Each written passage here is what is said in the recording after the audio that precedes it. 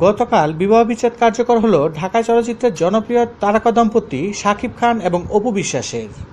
পারিবারিক আইন অধ্যাদেশ উনিশশো একষট্টি অনুযায়ী বিবাহ বিচ্ছেদ কার্যকর হলেও ছেলে জয় এবং দেড়মহরের টাকা পেতে অপু বিশ্বাসকে মামলা করতে হবে শাকিব খানের বিরুদ্ধে।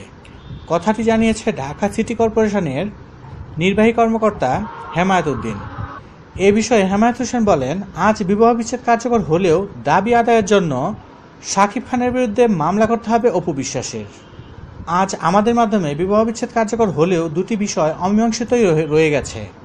যেমন, সাকিব অপুর ছেলে জয় কার কাছে থাকবে? বিচ্ছেদ হলেও আট বছর পর্যন্ত সন্তান মায়ের কাছেই থাকার কথা। যদি তাই হয়, তাহলে সন্তানের ভরণ পোষণ বহন করতে হবে সাকিবকেই। আরেকটি বিষয় আছে, তা হচ্ছে দেড়মোহর দেড়মোহরের টাকা সাকিব খানকে দিতে হবে অপু বিশ্বাসকে। কবে, কীভাবে এসব টাকা পরিশোধ করবে তা আদালত নির্ধারণ করবে। তার আগে অপু বিশ্বাসকে এসব দাবি আদায়ের জন্য সাকিব খানের বিরুদ্ধে মামলা করতে হবে।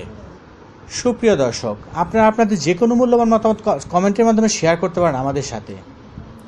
সুপ্রিয় দর্শক, বিনোদন জগতে নিত্য নতুন খবরাখবর জানতে আমাদের চ্যানেলটি সাবস্ক্রাইব করুন, লাইক, কমেন্ট এবং শেয়ার করুন। আর কমেন্টসের মাধ্যমে অবশ্যই আপনাদের মূল্যবান মতামত জানাবেন। ধন্যবাদ।